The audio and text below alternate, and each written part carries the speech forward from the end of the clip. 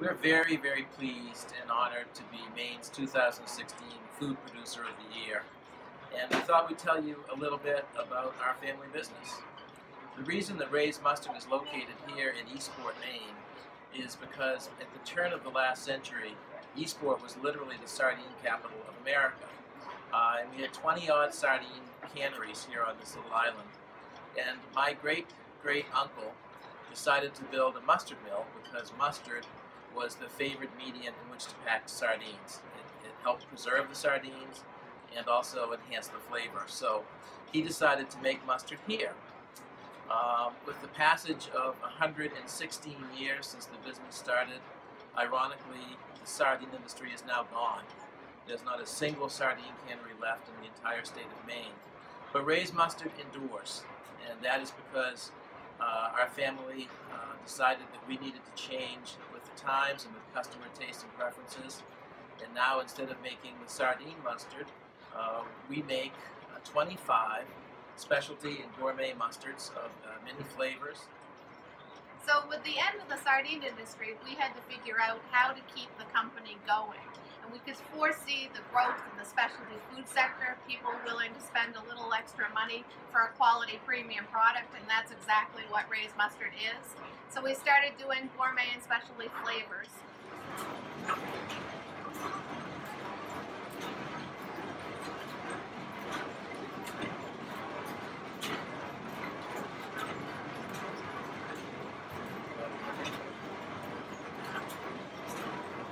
Number of people who will see our phone number on the top of this jar uh, or see our website and literally call us up and leave us a message or, or email us to tell us how great the product is. It's really cool. It's just sort of, you know, something that happens and it happens a lot. Uh, it's yeah, really they, surprising. they call the 800 number or they email us or they send messages on our Facebook or uh, TripAdvisor. It's kind of fun to read them.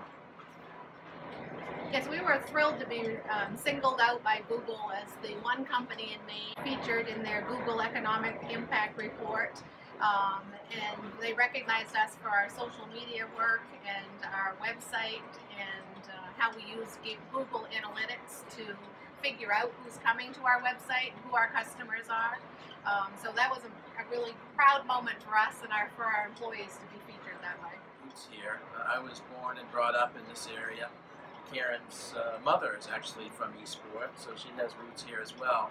And it's a place that means a lot to both of us. And so when I left my employment with Olympia Snowe back in 2001 and we moved back to Maine, we made a point to move all the way here uh, to the Eastport Perry area so that we could be part of this community and uh, do something to help an area of Maine that really needs uh, help economically and otherwise. So we've both uh, been very active in the community, serving on boards and uh, serving in public office um, as a way to, to give back and to help. Kevin, Kevin was served uh, four terms in the Maine State Senate, the last term as Maine Senate President. Um, Karen is, Karen is chairman of the Board of Selectmen in Perry and has served there for seven years and on the school board before that. And Kevin's on the uh, nursing home board. Karen's on the, the Grocers and Food Producers Board, yes, so we keep I busy.